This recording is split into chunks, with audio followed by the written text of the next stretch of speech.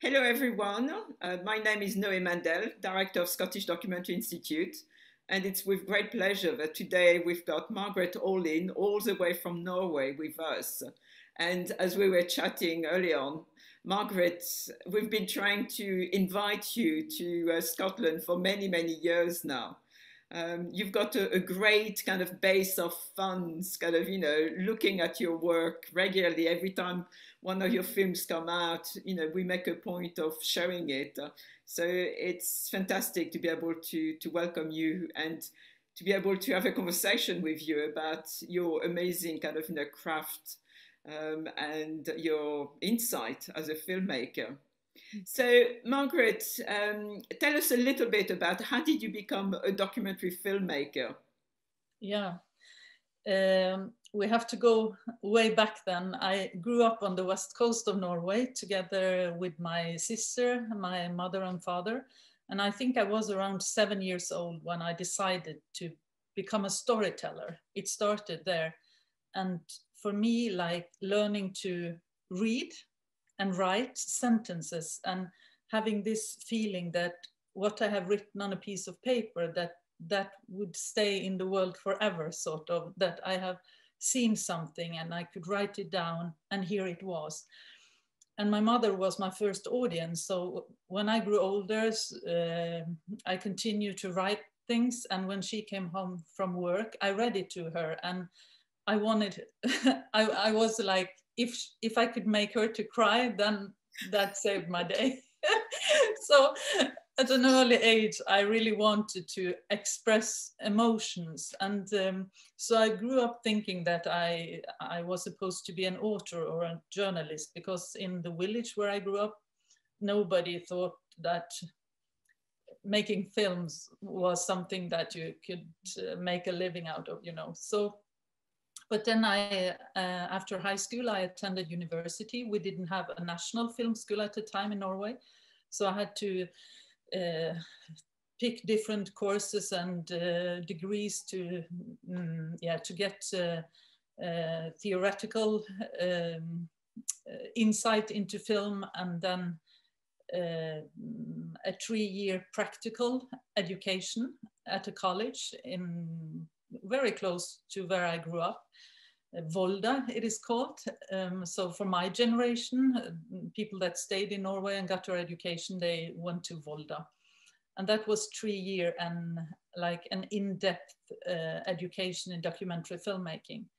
And that was the feeling of coming home, uh, expressing what I saw and always searching for what it is to be a human being in our time and that film was even better than writing those sentences. So, yeah, so I have stayed in the field.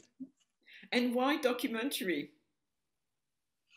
Um, I, I also, since I was a little child, I've been very like engaged in the society. I was the kind of child that was very uh, yeah my parents and my grandmother was they were watching watching the news and i we saw, um, yeah, people having difficult times or hunger and I, I could go to my room and lock the door and, and cry. And my mother had to come and explain to me that um, they couldn't do anything. But I said that uh, that, that ain't true. If everyone thinks like that, nothing will happen. We have to do something. So I, I think that at a very early age, I thought that um, I had to find a tool not only to express what I saw, but that everyone's voice counts, sort of, and my voice counts too.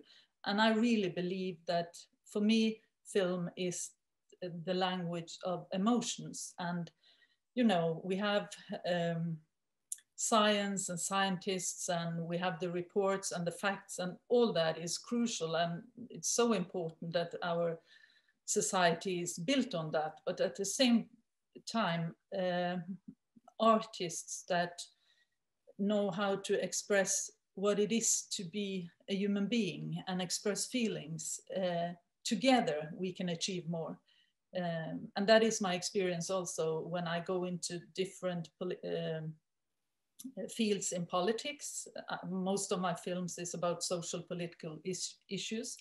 That when I am debating with uh, the politicians in Norway, if we debate school, they talk, talk about figures and statistics, and I thought, talk about um, the children.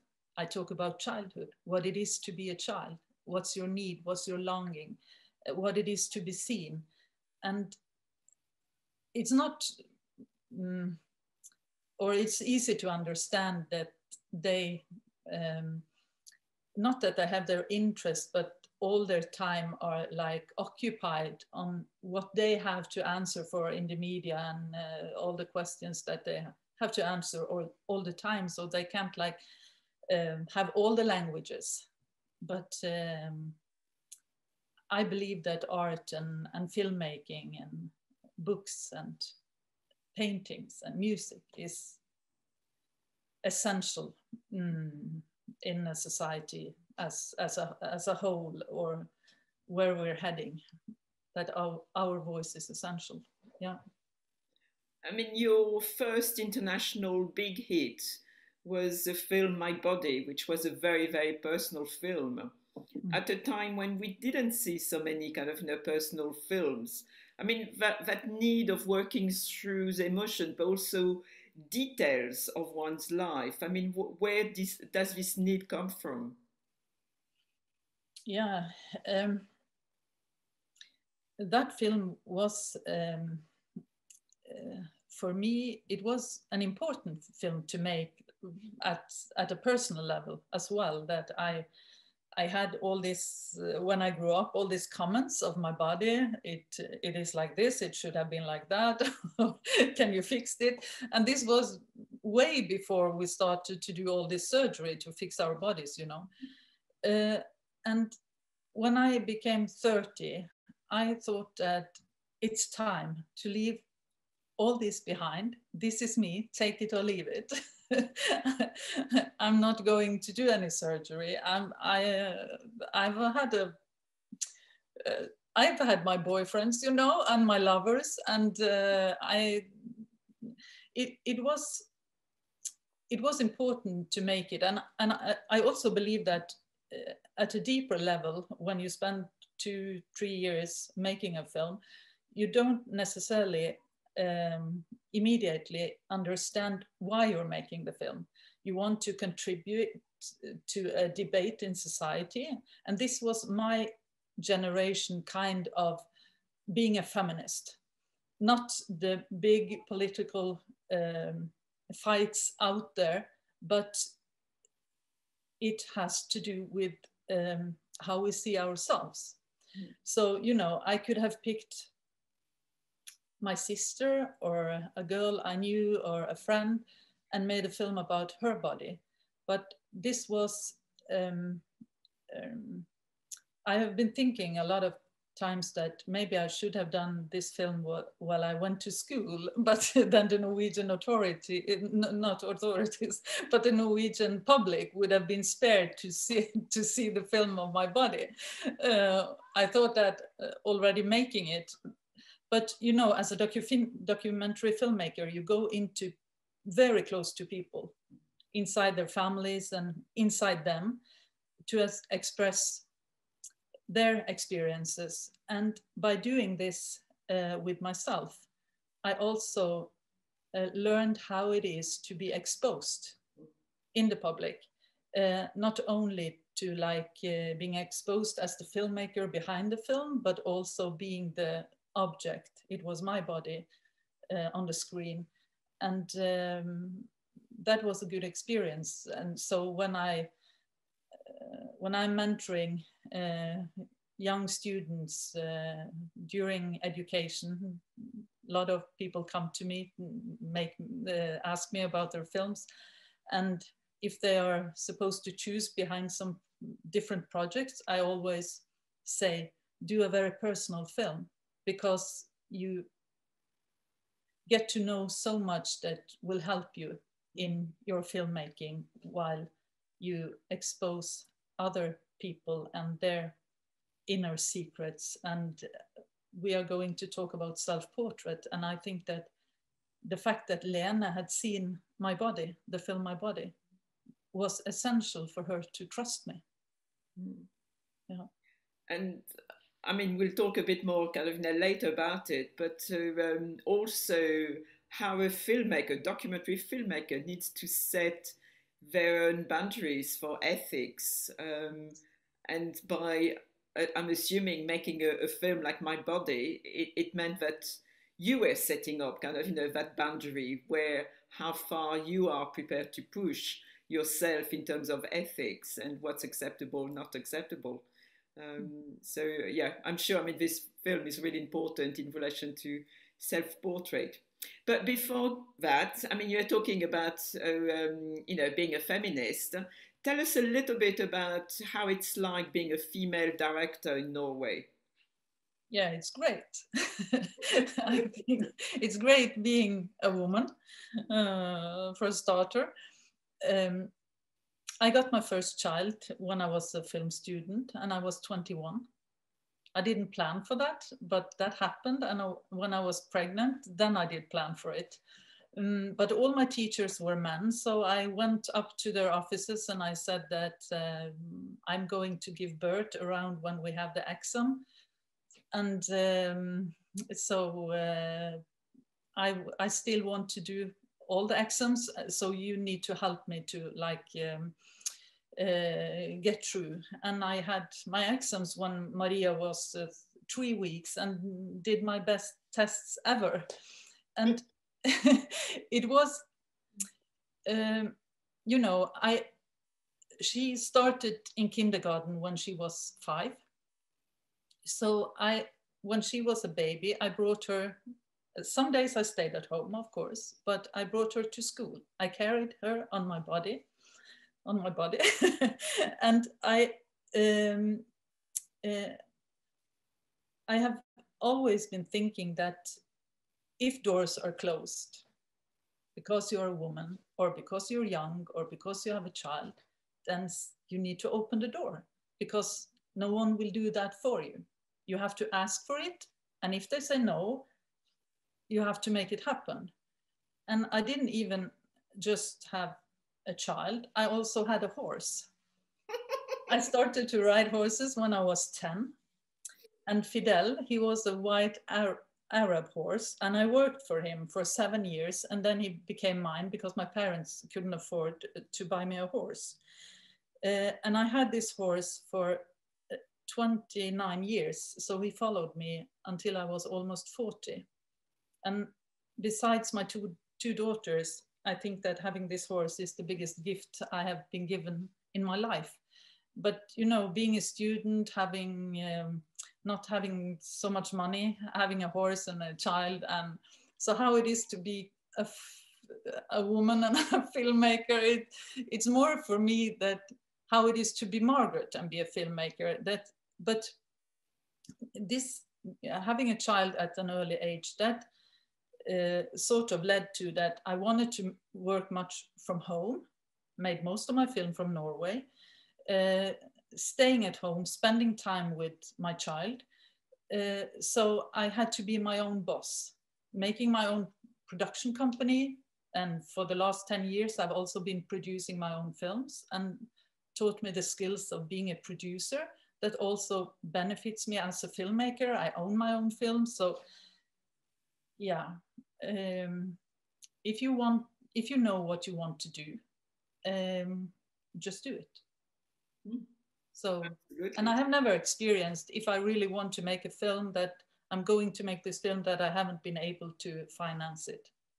Uh, my first boyfriend, he when we he's the father of Maria, my um, oldest daughter, and and uh, we were quite poor students. And we were like uh, how do we have how can we afford to pay the bills? And he said there is a lot of money out there. So when we need it we're we're going to get them and i said we can't do bank robbery. What are we going to do? And he said we're going to develop the skills to get the money. So that was a pretty good advice from him Indeed, and it worked out pretty well for you. yes, yes. Great. So um, we're going to talk about self-portrait, and uh, I think you know just before we start diving into what is a very emotional conversation, uh, let's have a look at the trailer. Når jeg var liten, så ønsket jeg alltid at jeg kunne stoppe tida, for jeg syntes det gikk så fort. Jeg ville ikke bli voksen, jeg ville forbli barn. Men etter jeg begynte med fotografi, så fant jeg ut at jeg kan jo stoppe tida med bildet. Og det er liksom det som gjør meg så engasjert. Det at du kan fryse tida.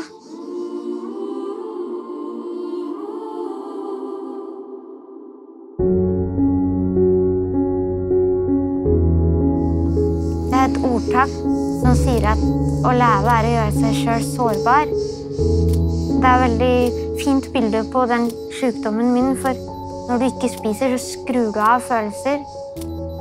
Ifølge lega så skal det gå an at jeg kommer i pubertet selv om jeg er 28 år. Selv om det høres veldig rart ut. Men da må kroppen få nok næring over tid. Jeg har jo vært døden nær mange ganger, og det er jo en form for sakte sjølmord, egentlig. Mens nå, det siste året, så har jeg tenkt sånn Uff, jeg må bli friskere, for fanken, tenk om jeg dør? Jeg har jo så masse jeg skal gjøre med de bildene mine. Mitt store prosjekt er egen utstilling med sjølportretter, så jeg har veldig mye jobb, og den skal det smelle av.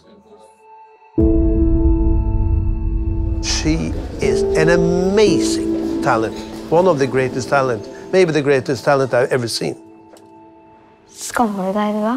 Nei. Stolt. Modig. Ikke sånn der når jeg er her noe.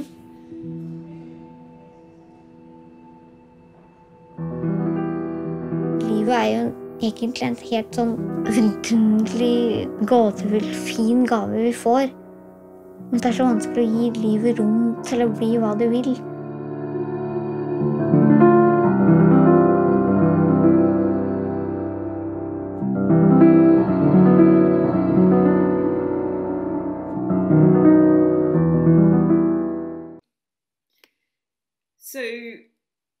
Us, kind of, you know, Margreth, how did you come across um, Merlin? I mean, what, how, yes, I mean, how, how did you decide to make such a film?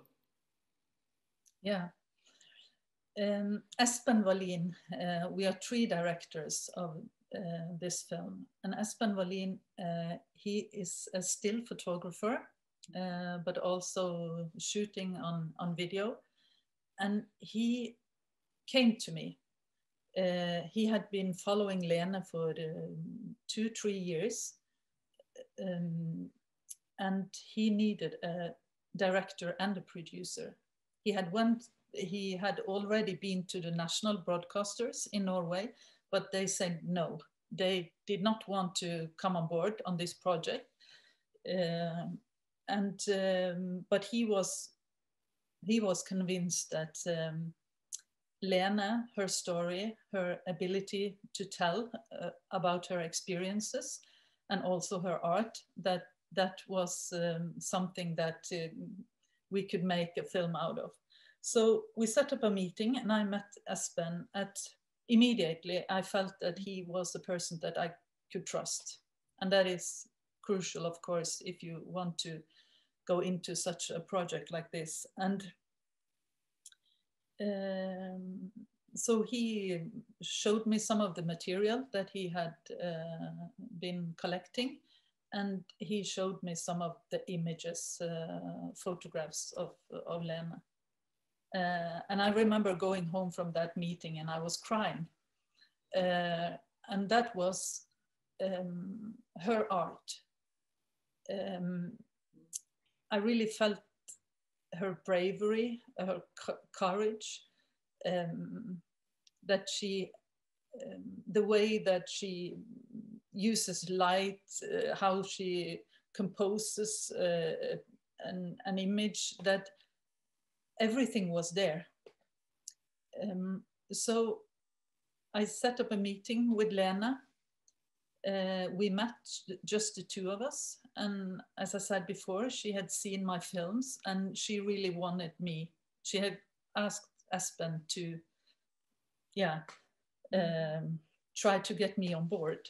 Mm-hmm. Mm. So the trust was there um, as we sat down at the first meeting. And I remember Lena saying that I don't feel that I have to express myself for you to understand who I am. And I felt that that was true. And you know, uh, at the time I was in the editing of a, another film called Childhood, and my boyfriend had just had a big stroke, a brain stroke. So the situation at home was very uh, difficult. Um, and if you see, or when I look into the situation of Lena, and I knew that it was going to be hard and all these ethical questions, I should maybe have said no. It's not the time for me, but I couldn't.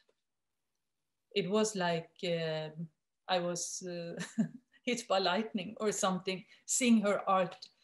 Uh, but then I um, went to Katja. I was producing a film that Katja directed at the moment about uh, psychic uh, ill inmates and how we treat them in uh, prison in Norway, uh, the use of uh, isolation. And um, uh, so we had been discussing ethical questions in depth during many months uh, all these things that we had to take into consideration with all the inmates that we tried to portray in this film. And Katja is the same age as Lena, and Katja is highly talented. And I, and when you're a young filmmaker, it can be hard to get your next project financed. But if she came on board, I knew that uh, we could develop something together. So Espen continue as one of three photographers of the film, and it was also um, the fact that Katja came on board was um, crucial for me because of the situation at home, you know. Mm-hmm. So, um, yeah. So, how did you work? I mean, three co directors, I mean, it's mm. quite a lot to communicate, especially in such a um, fragile situation. Yeah. Um, since I also am the producer of the film. I was the one um, that stayed most in contact with Lena and her parents. Uh, it was important they they wanted to be a part of the film because Lena was uh, was living at home with her mother, mm-hmm. and uh, they weren't this or the so important part of her life. Um, and I think that when you are um, three different directors, it's not that we are supposed to do the same, but do what we can do best. And Espen already had this intimate relationship with Lena uh, over many years. So he could still film Lena in situation where it were only the two of them. Uh, Katja was the one that went out shoot when we uh, wanted to follow Lena when things were happening happening around her, like the exhibition or uh, that she that when Lena was working to to take more uh, photos, for example. Well, I was the one that do the in-depth interview with Lena and uh, with the parents and also when she was hospitalized by force. Uh, and it's it's even hard, you know, to ask uh, the the health team around Lena to be able to be there uh, to film at such a point. But I've, I have a lot of experience now, and uh, that you have that kind of trust because people know what you have been doing before, and of course, it was so important that Lena wanted us to be there and the parents wanted us to be there um, and be able to make that happen and then be the one to have uh, the dialogue on different levels to be able to stay with Lena during these difficult times. So mm, then, as a producer, it's it's my task. It's my um, yeah that that I really try to what what is the best that uh, Katja can bring to the table and Espen can bring to the table and what can I bring to the table and together and also with our editors Helge and Misha and the mm, musician Susanne Sundfør. It's it's a work of several artists, I think. Mm. And I mean, Lena is an amazing artist. I mean, uh, outstanding kind of photographers we, you know, saw in the film. Um, how do you think that kind of, you know, uh, own kind of creativity influenced your creativity during the making of this film? Mm. In many levels, I think. Uh, we um, had many discussions with Lene uh, uh, about art. Uh, and if I speak for myself, then that um, I really felt that the way she uh, present herself, you know, she says, I think, three times in the film that she doesn't want to be seen as ill. Um, she wanted to be seen as Lene Maria, the person behind the illness. And that is what we try to do with the film, that we, we see through the diagnosis and how other uh, people uh, or the doctors um, define her. She wanted to define herself. And she, she does this with uh, so much courage it's so honest it's it's raw it's kind of brutal and it's beauty. It's not pretty it's not nice but it's it's beautiful. And many people will say that uh, images of a person that is anorectic can never be beautiful. It can but it's different from being pretty. Mm. it's it's um, and for me that has to do with her ability to um, undress the illness, expose the illness, see through it, um, and express the feelings that was problematic for her to deal with in her life that was what caused the, the illness. And in her photos, she expressed this as a ballerina um, that every detail, you know, the way she holds her fingers and her toes, it's in every detail she is she's present. And that way of commit to your work, uh, I think she she she's an she's the best. she for me she, she she isn't here anymore, but she was the best photographer alive in Norway when we made this film. And she's a master of her art. And that forced us to do our best too, you know. And that I really felt when I discussed with Lena that when the film is going to be launched, there will be some criticism that we shouldn't make this film. It can be a trigger for those that have the disease. And of course, that is obvious. But I felt that together we could be rock solid. We knew why we were making the film. Um, and the fact that it was so important for her, and you know, the ethics, uh, the discussion we have, we had um, when making this film, um, at two, two different times, I was very close to stop, stop the process and close down the project. But that had never to do with Lene and her parents because they always wanted us to continue.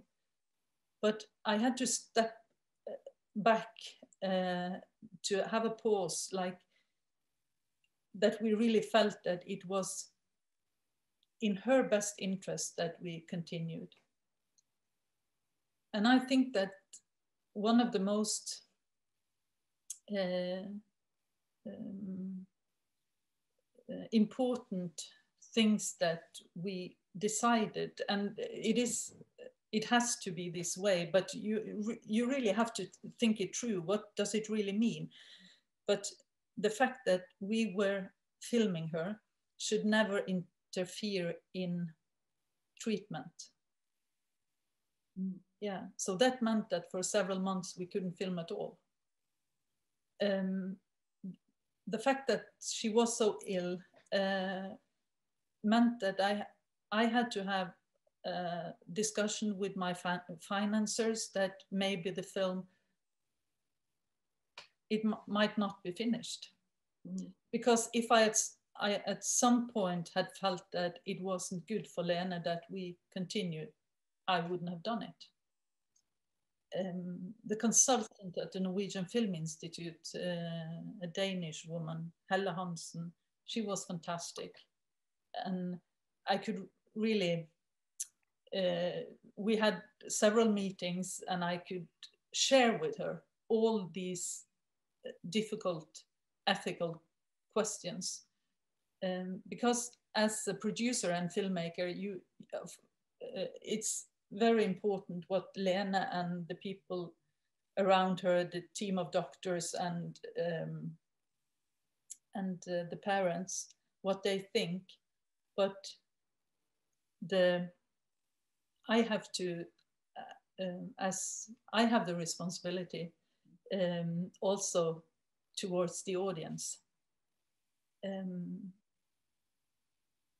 and um, I have a Swedish mentor, Stefan Jarl. Uh, he has made beautiful and strong and fantastic documentaries um, for decades. And he once told me that um, a documentary film will never be better than the relationship it um, it um, and um, it rests on. Can you say that? Yeah. That um, the quality of the trust, the quality of the access, the time spent, uh, the quality of the relationship. When the audience meet your film, they will feel it. So if you ask them to sit on the bedside of Lena after she has tried to commit suicide. They, from the first tone of the film to the last image, they have to feel that you hold them in the hand, sort of. And that is really my experience with all my filmmaking is, uh, um, yeah, the quality of the the relationship that a film is built upon. I mean, I guess um, already in the photography of Lena Marie, I mean, we, we, we get that deep feeling that uh, she's using that as a uh, therapeutic tool, really, as, you know, I mean, she's an artist, but she also needs kind of, you know, her art to, to keep going. Um, I mean, what did you feel that the film would be able to, you know, to also be used as a healing tool for her, for people watching it? I mean, how did you place yourself in relation to what she was trying to do with her photography? Yeah. Mm. Uh, I have, I wrote down something that she said. Uh, she said, um, she said, my photographs are not anorectic, anorectic images. They go far beyond that. They show human pain and suffering, sorrow, something we all can recognize whether we are sick or not. But in this pain is also hope, courage, and strength. Um, Lena had the ability when she met the refugees um, on the beach in Lesbos. to see the playfulness of the children, even though they were, they were in this difficult situation. She could like see through the mask and see the soul of people. And even though she had this body um, that had that suffered so much and were so thin that it, it was she was so tiny. But inside she wasn't tiny at all. She had she was she wanted everything. Mm, susanne sundfør uh, she has a song uh, undercover I wish I had a lover. and Lene loved that song. Um, she, she wanted everything that every one of us wants. And um, I think that when you have an illness that is so severe and so uh, visual, like anorexia, that people see you only as that and for her, she she wanted to tear apart and confront the illness, but she wanted us to see who she really was. And uh, the film was launched in Norway January uh, last year. And before the corona closed down our cinemas, uh, we were able to travel with the film for two months. And many, many people saw it at the cinemas in Norway and many young people that has been suffering from anorexia. Their parents and teachers and uh, people also very close to it came to me after the screenings and they were very thankful and moved. And the young girls said thank you for making this. Mm, i have not been that ill um, but i feel so familiar with her and there are so much that could have been my life too. But seeing this film also scares me because once you have had anorexia it's like drug addiction that you, it's always there behind you as a ghost that you feel that at some point if i lose my boyfriend or if something happens that i might go into the same behavior again. But many of these young girls told me that uh, this scares the hell out of me. I'm not going even close. I, I'm going to have people around me when it's go because we know life does us life is difficult and it will come my way and everyone's way but when that happens i have to be surrounded by people that can really help me to not go well in had to go and that ended her life. And the first meeting with Lena, that was exactly what she said. All this suffering, Margreth, I really need to know that it has been, it hasn't been for nothing. And I, you know, the film has been winning so many awards and it still does and for everything the film achieves or the emails that I get from from people that sees it, I should so much want her to be here so I could send that to her. Um, because what she really wanted to happen, I think for many people the film does exactly that.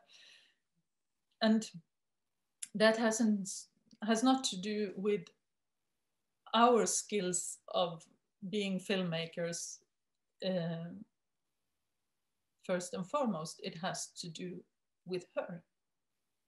How very precise she is when telling us what this illness is all about.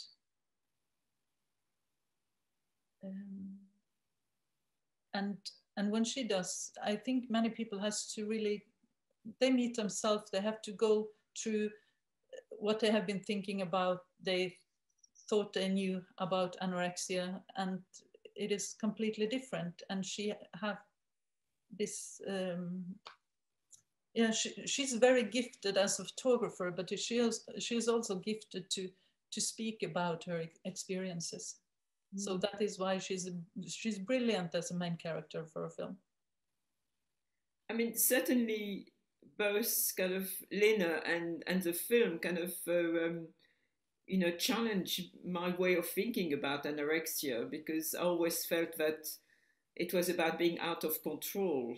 And yet, every image that uh, Lena takes uh, and the way you kind of reproduce that also in the film is about control. I mean, she's so precise in her photography, so in control of understanding who she is, what she's doing, how she's doing. I mean, for me, that was a really kind of, you know, big challenge, kind of, you know, getting my head and my emotions around it while watching the film. How did you feel about, as a filmmaker, I mean, how did you cope with that strong sense of control and yet, you know, still not being able to, uh, you know, to, to pull life really? Mm. Yeah. Yeah, she says in the film that um, life is so beautiful, uh, but why is it so difficult to let life unfold as it is? Um, and for many people, uh, being an artist, um, you might be not everyone, but kind of fragile, um, having um, all your senses very opened, uh, very open, and um, that things that you experience is in life uh, set these deep prints, marks in you, and and also when you, you're a child that you are maybe more frightened than other because you take in all these uh, big cosmic questions. Where why why am i here? Where do we come from? Where are we going? What will happen if my mother dies? Uh, um, and uh, when you grow up you find that as an artist these uh, or this is your greatest tools as a filmmaker or a musician or a writer but as a child it can be very hard and Lena didn't grow out of it. She had this, this as uh, her way of being.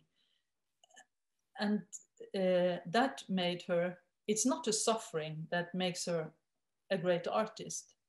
It's what I have tried to explain now that's made her into a great artist. Her um, that sh she had this um, you know that to to live strongly and feel strongly is different she felt very strongly but she managed and she was able to express it so you can have have uh, you can be a person that feel very strongly uh, but you ha you haven't a gift to express it and then you might not be an artist. Uh, but she was, and um, so in one way she is, she has, she goes into the world as a child, very curious, very open. Um, at the same time, she has she suffers from a disease that is very controlling in every detail of her life. She didn't take any food. She just had these uh, nutrition drinks. And that was one ethical uh, question that we dealt with, that it was never, ever something that I uh, wanted to do to challenge her. For example, asking her that when you have your meal, that we are going to film you. That wouldn't be possible for her.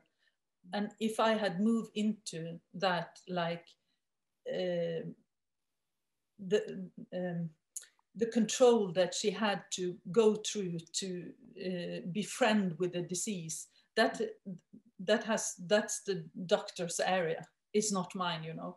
So we never challenge that part of her.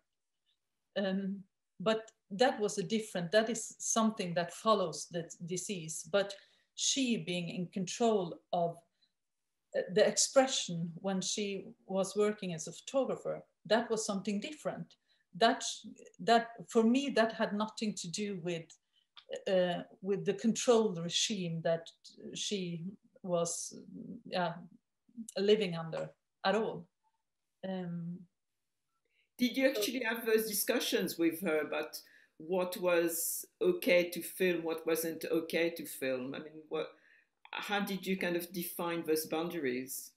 Yes, of course. I discussed that at a very early stage with Lena. Um, and as I said before, it has to do with trust. That I said that we have to be completely transparent and everything that comes up along the way, tell me. We have to discuss. Uh, and I also discussed this with um, Norway's most uh, uh, experienced psychiatrist, uh, psychiatrist on um, anorexia um, to, to know where we were not supposed to go and what we should not challenge. Uh, because if we had done that, that might had led to that uh, the illness would develop, you know. Uh, so that was, yeah, very important. And I also discussed that with her parents and of course me and Lena. We talked a lot during the three years that uh, from I came from I came on board until she died on October the 22nd in 2019. I mean, all directors have uh, a duty of care of uh, their characters. I mean, we need to be more responsible about them than often they are about themselves. But you also, as a producer, you also need to look after your crew, yourself. I mean, in, in that kind of context. Mm. How did you manage to keep going filming what is just kind of extreme pain in someone and i mean how did you yeah how did you do it mm. Yeah i think that we we discussed uh, yeah we discussed with um, lena and her parents uh, but the three of us discussed much on the phone, but also when we met and before a new shooting and after sh the shooting. But I think that this, what we experienced making this film is quite extreme. I have been doing documentary films for 25 years and you can never prepare for this. And uh, I think that Espen and Katja and me, we are um, now we only meet, it's Corona times and if not, I, I think we would have sat down more after the film was uh, launched and uh, yeah, you know, Lena died in October.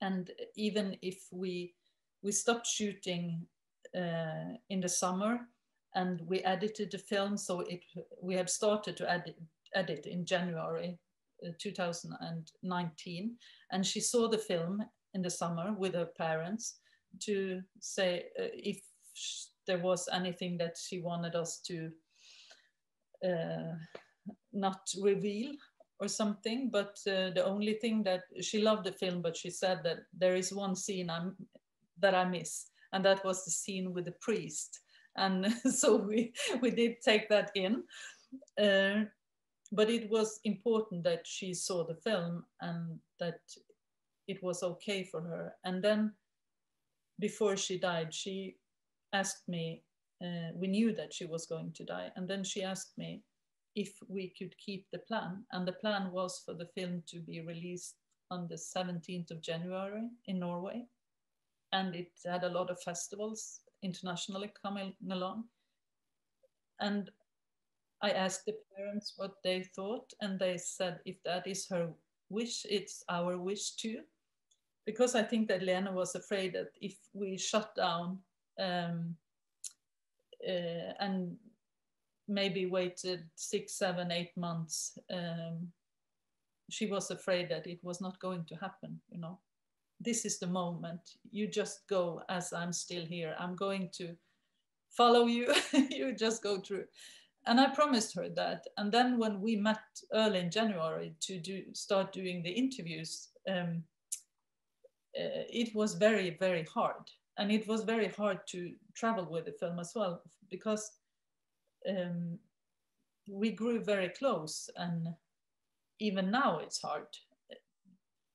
I have been filming people before that has died during shoot and after shoot, but they were like in an age that 95 or yeah, you are prepared that they can die, you know.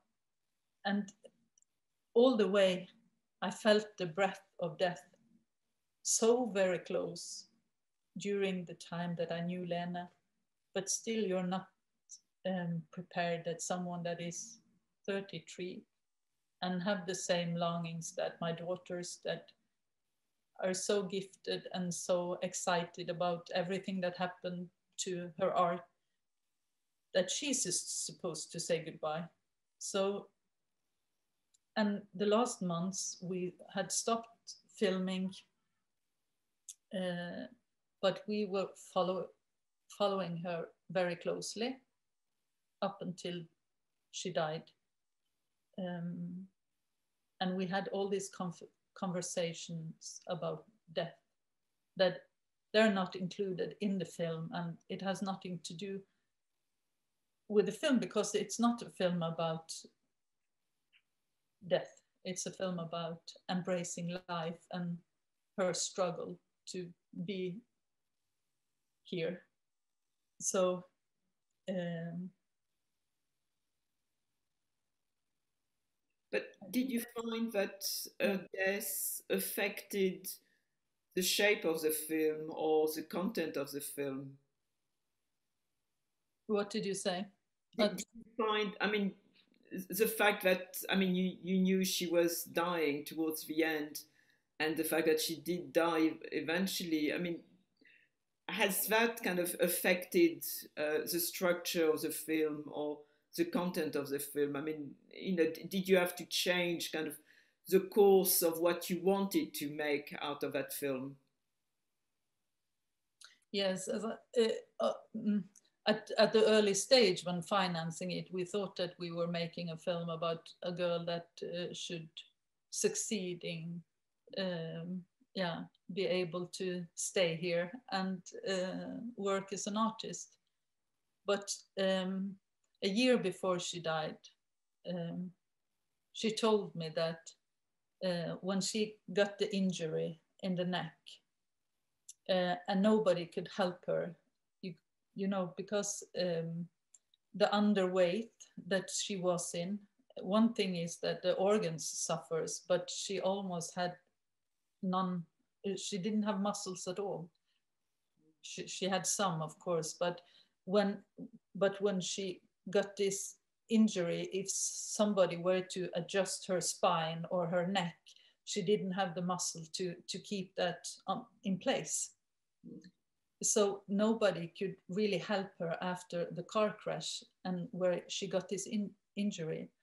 And after months, uh, the pains grew harder. And it was hard for her to keep a camera and to work and she got hospitalized and after a while by force. And then i started to see that she was always speaking about that she hoped to be an old woman. But then i knew she was not going to be that. So of course when we started to edit, uh, I already knew that. um, so I think that the, the rhythm of the film, it's a kind of meditative. It is, um,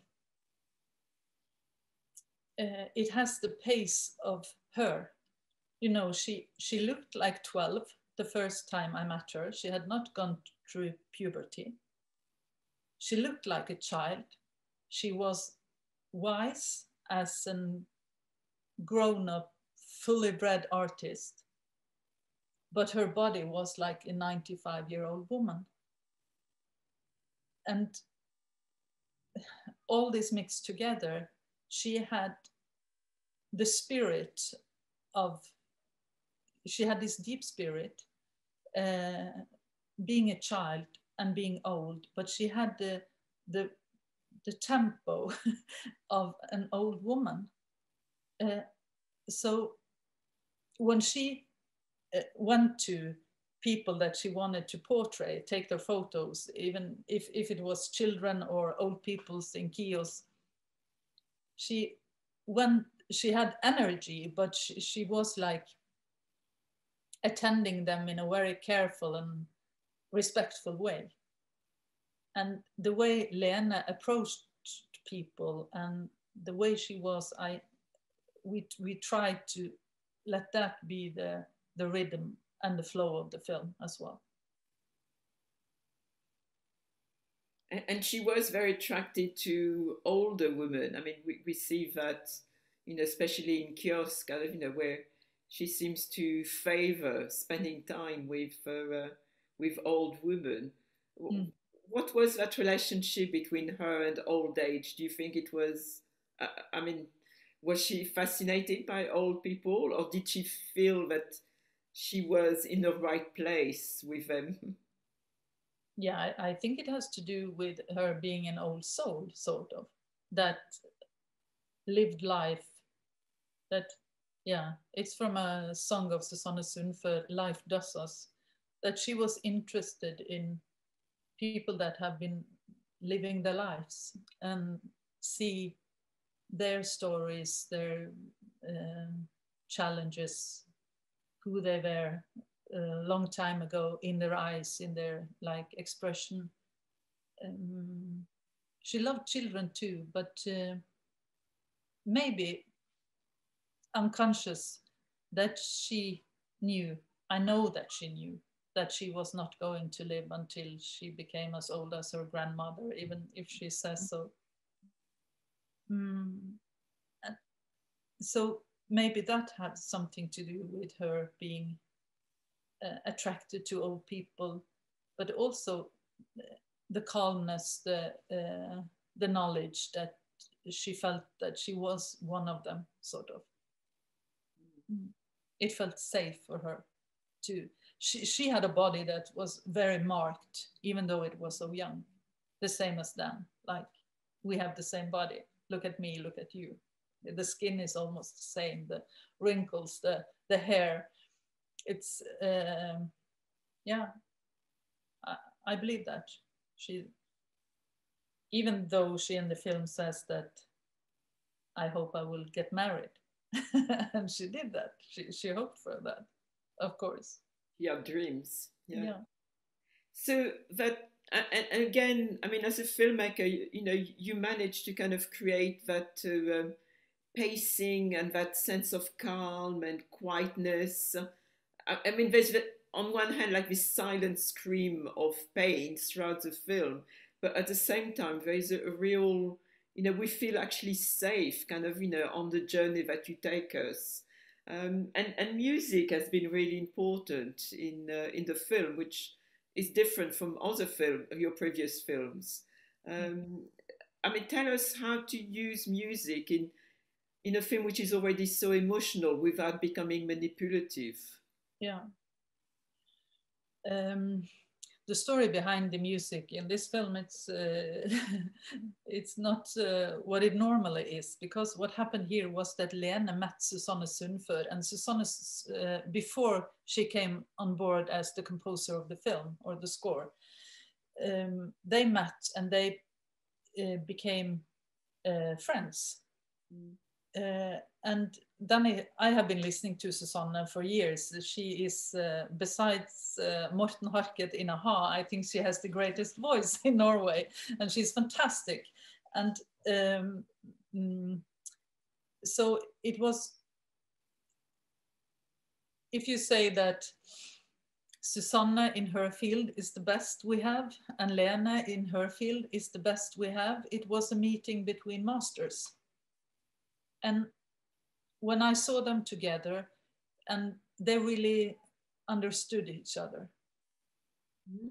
Uh, so I asked Susanne, she said yes to do the score. And we met and uh, we just talked about Lene. I talked about how I see Lene and not so much about the film, but Lene. And she talked about Lene and then she had this freedom to we sent her some of the uh, the footage uh, uh, just to see it and see the pace of it. And then she had the freedom to to find her angle or her take on it. Um, we didn't have an agreement that she was to write lyrics and a song for Lene Marie, when the Lord. So if people listening to this if you haven't heard the song, it's on Spotify, Susanne Sundfør, Wonder Lord, and the ly lyrics is written to Lene, and it's, it's fantastic. Um, so I felt that together, that as I said in the beginning, uh, that this film, it's Lene is an artist. We had three directors, and we had, um, besides Espen, two photographers that are very good in their own way we have two editors and we have Susanne Sundfør. And together we all really felt, uh, I think, um, I, I think we felt like grateful that it became our task to take care of her story and her art for previous or others that wasn't able to meet her. Um, and that everyone gave their best effort in, into it. it. Felt like that. And I, for me, Susanne, uh, her work, it's so far from being sentimental. It, uh, and the same with Lene, that some people said at one point that they were afraid that we were uh, uh, romanticizing the illness. It has nothing to do with that for me at all. It it is uh, it's art. It's on a it's on a different level. It's it it's honest. Mm. It, it's brutal and it's honest and there is a purpose behind. So then I, I'm not afraid of those things like being sentimental or being too much or it just felt that what everyone had to put on the table it made yeah make us come closer to who Lene was and the understanding of this devastating disorder. It is really quite an achievement that this tiny little woman managed to bring so many great artists together and, and, and celebrate life, really. It's uh, fa- fantastic. Mm. I'm aware I've been monopolizing you, Margreth, and I would like to say to our audience that uh, you are very welcome to, uh, you know, to put questions on the chat box or, you know, just kind of, you know, wave and uh, speak up kind of, you know, any questions you'd like to to put to Margreth. I'm coming to the end of uh, of my list, but I can go on talking to Margreth for much longer. That's for sure. So please don't be shy. Just to, um, add your questions to to the chat, and uh, we'll come to it. Uh, meanwhile, uh, Margreth, I mean, just kind of uh, on a more kind of you know practical basis, how easy or how difficult is it to uh, finance such a film? Hmm. We had uh, the Norwegian Film Institute and NRK coming on board, and also uh, some organizations in Norway that work with mental illness. Um, and uh, so we had a strong national back, backing. And then we got uh, the sales agent Cinephil uh, with Philippa Kowarsky on board. And uh, the film uh, opened the forum at IDFA, uh, where Katja and I was pitching. Um, and uh, then Philippa came and said that I have to be the agent for this film. And we said yes. and it was uh, amazing to work with her, uh, all the experience, and that she really, uh, yeah, she really loved the project from day one. Um, and having a sales agent that believe in it strongly, it's so important. And then because of Philippa and the pitches that we did in uh, IDFA and uh, Copenhagen Docs and in Cannes, we managed to get Arte and BR in Germany on board, and then we had the financing. So it took some time, but uh, we, uh, yeah. So it's not, I mean, it's not exactly a straightforward project to, to finance, really. I think broadcasters feel very shy at engaging with such films. Yeah. And you can say the smaller broadcasters, uh, we have sold the film to a lot of uh, countries now, mm-hmm. but they wanted to see the film finished bef- mm-hmm. Before they uh, decided. But uh, um, broadcasters that have bought my films before, uh, then it was easier that they sort of trusted that I could manage to handle a, a topic and uh, yeah, like this. Yeah. I mean, in many ways, it is a cinematic uh, film. It's a film that needs to be seen on on a big screen, but also, I think, emotionally, it's so um, you know you need to give yourself over to the film in order to really be able to watch it. Um, so uh, maybe broadcasters are kind of you know are, are, kind of you know find it really hard to be able to place such a film on on kind of the little box uh, as opposed to the bigger box. Um, but in terms of um, festivals and audience, I mean, you, you said you kind of did a tour in uh, in Norway, but I guess I mean with the pandemic, you not you haven't managed to kind of go very far with it, really. Mm. No, the, the, film has been to a lot of festivals, but uh, it's like now that I'm not able to visit you. Uh, unfortunately, we haven't, because of Corona, been able to we managed to go to two or three festivals and then everything closed down. But the film is traveling and it has won a lot of mm, awards internationally and it has been shortlisted to many awards and um, so the renommee of the film has been quite good and um, and also audience from different countries reach out to us and some of the uh, awards that or mm, yeah that it has been given is audience awards. So that is good. I like that. I like the audience awards. Yeah. Mm. very gratifying kind of you know.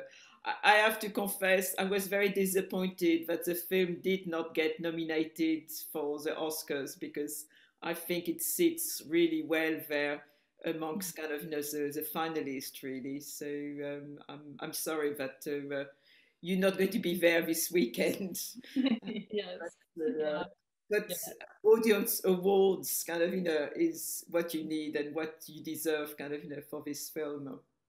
Mm. So maybe Alex, let's have a look at what people been posting on the chat box. Um, yes, we have uh, comment and a question from Rohan. Uh, firstly, saying that um, thank you, he's thanking for the film, a very powerful film with a great deal of emotional insight, um, and is also asking about um, you know, you talked about the role my body played in establishing trust with Lene. Uh, can you talk a little more about how you established this bond, this trust further in the early stage of the production? Yes. Um, it's an important question how to go about that. Um, and all my films relies on this bond or trust. Um, for me, it has to do with being open, being open, meeting people that are going to uh, be in my films, um, being very straightforward, telling them what I, uh, why I, why I want to make the film. That is the most important, not what we are going to, because it's a journey and you don't know beforehand. And not uh, before you start you don't you're not sure about the take of the film. It can it will also develop. But why i want to make the film?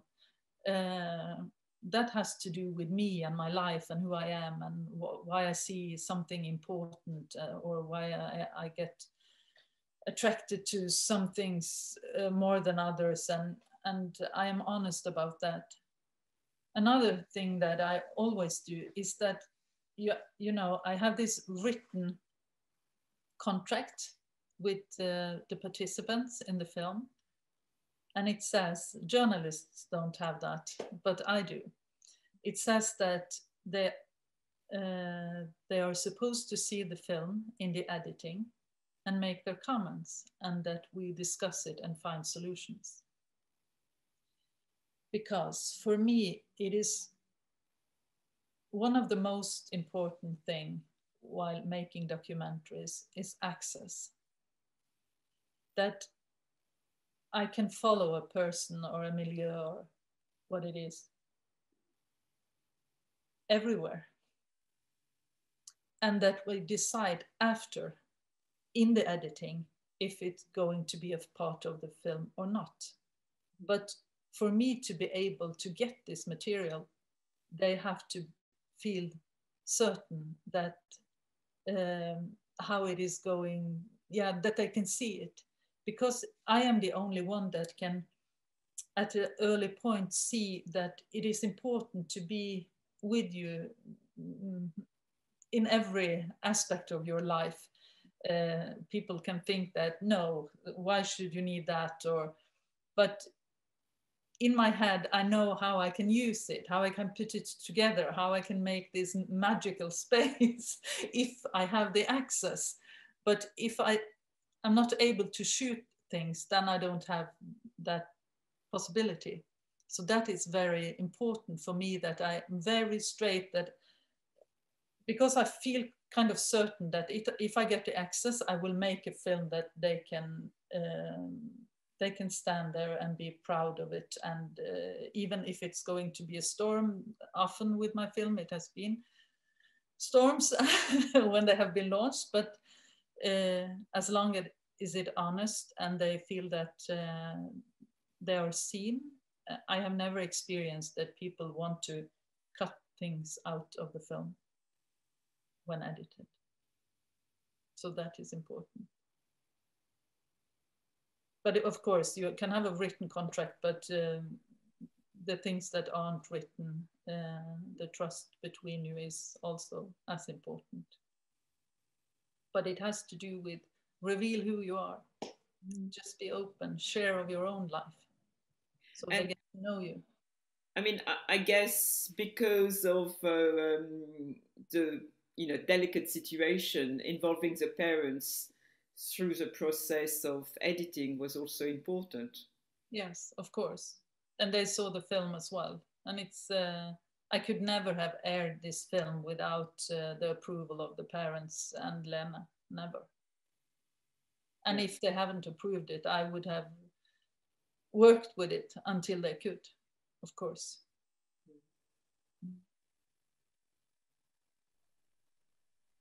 Alex? We have a question from Megan, uh, who is asking if you could give us a bit more information about her background, if uh, about her childhood, if there is any specific trauma that occurred that perhaps triggered her disease. No, there isn't. Uh, if there, if there was, it would have been in the film. But as far as we know, and she knows, and um, what she has shared, and also talking to her parents over this time, there isn't like one specific trauma. It has to do with, as I'm talking about, her personality and that at uh, I haven't been talking so much about this, but at an early age, when she was 10 and she got the disease um, and she went into treatment and she was hospitalized, it was only or very much focus on the weight that she had had to gain weight. And if she wasn't able to it was she felt it was by force. That Lene talks in the film about if they had been interested in what was behind the emotions that she hadn't been able to um, sort out. Uh, and at one point she get this uh, psychiatrist Hasse Linnå and she was around 14 and then she was able to come back to school and stay in school. And he was the first person then she had been ill since she was 10 and he was the fir- first person that asks her uh, what do you need? What do you want? Uh, that he was interested in her and uh, what was behind the disease and not only to gain weight you know. Um, and that is uh, such an important message because even today, uh, Lene also says in the film that this disease frightens people. You know, when you your appearance is like hers, everyone thinks that is it possible for her to be alive at all? and the only thing the only thing that you can think of is that she she has to eat and she has to eat because her heart can stop at any time but it is like drug addiction that drugs has a function in one person's life like starving has a function that you starve away the feeling so if you are not going to starve yourself anymore, then you have to take care of the feelings, what's behind.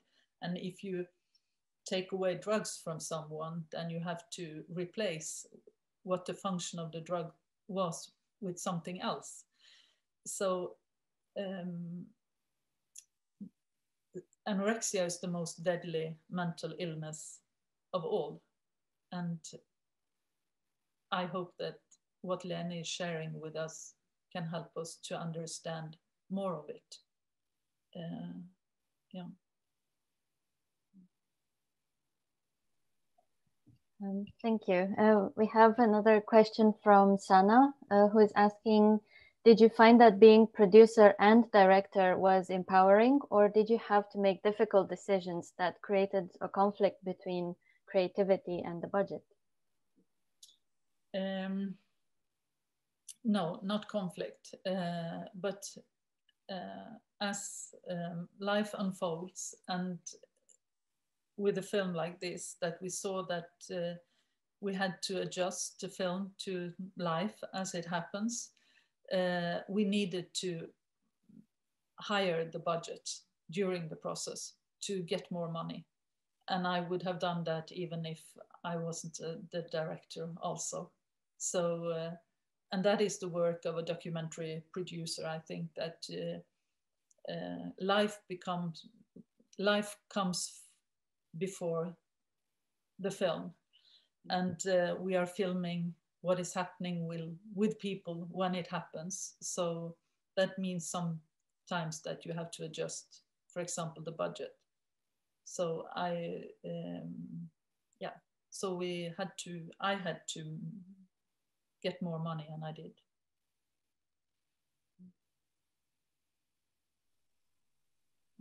I think this answers a bit the the next question also from Martina about how long did it take to make the film and if the budget was sufficient or did it become a challenge on the way? Mm.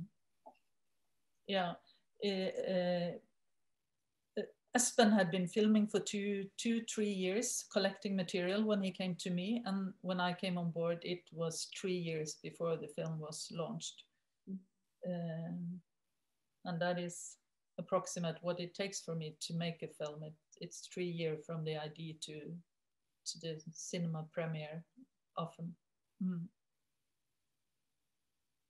Mm. Yeah, and I think the, bu the budget was sufficient when we got them when we got some more money when we had to adjust because she was hospitalized by force for, for one year so uh, yeah and I, I see one of the questions when Lene was 10 years old and what was her childhood like uh, Lene's father was a, a photographer uh, but uh, not um, as a hobby. Uh, so he had been filming his family a lot. And he sent me a huge amount of tapes. And I went through all of them uh, Christmas, birthdays, um, vacations, um, first school day for every year of Lene. Um, yeah. She playing with uh, her father or her mother, or and she had a very normal uh, childhood. But you can see from an early age that she's very thoughtful. She's a kind of dreamer. And she's also very concerned about her own appearance in the world. Interesting. yeah. I have uh, another question from Justine asking how hard was it to develop an audience for such a film about illness? Um, more thinking about the appetite for kind of happy or relieving escapist escapist films that take audiences away from the pain of life. Yeah. Um, when you launch a film like this, it's very important to be honest towards your audience. As the poster for the film, we used one of Lene's own images. Mm, she has a dress, but you can see her skeleton under her skin and how thin she really is. That we didn't pick an image, her from behind, hiding what you were going to see. And this was also crucial and very important because this is not a film for everyone. People that are have the illness themselves should really consider thoroughly if they were going to see this film and maybe not see it at all. And saying when we la- launch the film, it's not for everyone. That means that you might smaller your audience, but you you do not make a film like this to like to go for a box office hit. uh, so, um, but we managed to get uh, almost 30,000 to see it at cinemas in Norway for one and a half months before the corona closed the cinemas.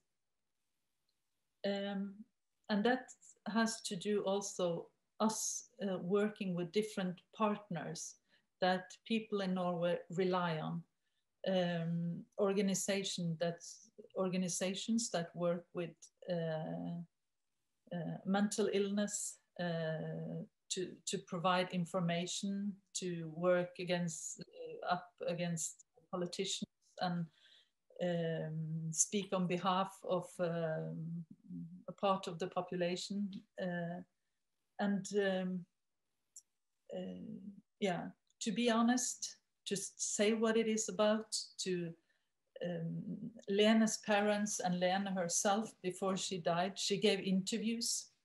We went on national TV, both Lene and I, um, and her parents did too. And some people might think that this is not a film for me, but that is okay. That is really okay. So, uh, but a lot of people saw it too. I'm sure the film will go on living for many, many years, Margreth. I mean, it's uh, uh, it's a legacy, really, not just a, not just a film. So um, it doesn't matter when people are going to see it; they will eventually kind of come to it. I'm sure. Yeah. Mm. I think we're coming to the end, Alex. No, no more questions. Uh, no more questions in the in the chat. Great. Thank you. Ever so much, Margreth. Uh, I know it's a, a, difficult film still to talk about, but also very important to to share kind of you know your experience in in the making of it. Um, but just before you go, I mean, you know, the, the good thing is you've actually moved on quite quickly onto a new project. How does it feel, kind of shifting into uh, the next adventure? Yeah. Hmm. Um, I am I am pitching my new film. It's called Songs of Earth uh, on Copenhagen Docks next week. Uh, and I'm in the midst of financing and uh, will try to get some um, co internationally co-producers um, on board.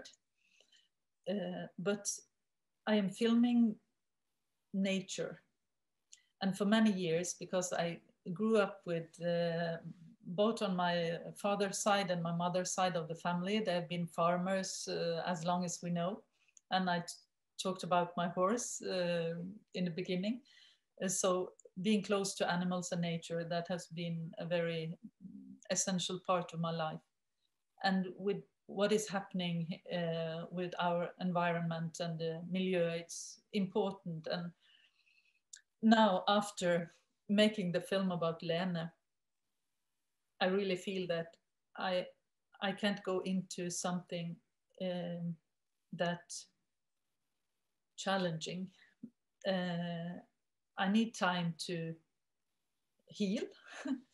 um, it has been uh, um, for everyone losing her. It's a big loss, and uh, it's important to respect that those um, processes need time.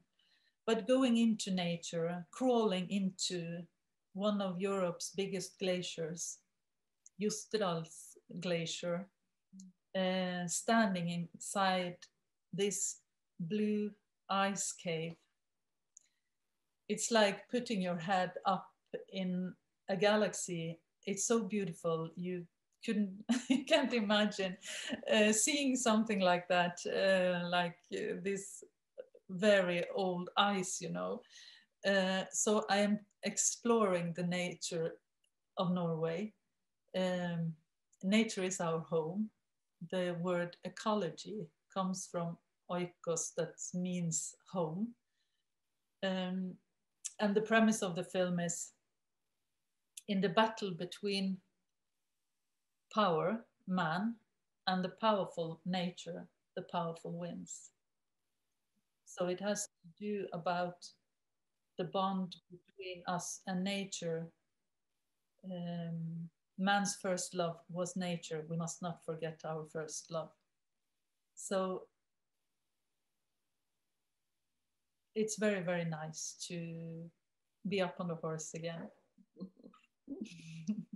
well, I'm delighted. That's a project that you're working on, and I certainly look forward to uh, seeing it. So, good luck with the pitching next week. Uh, and once again, Margreth, thank you very much and come back to Scotland. yes, I will. I will come one day when it opens up. I will come. And thank you so much for definitely talking to me. Thank you. And thank you everyone for listening. Uh, bye bye. Bye bye. Bye bye.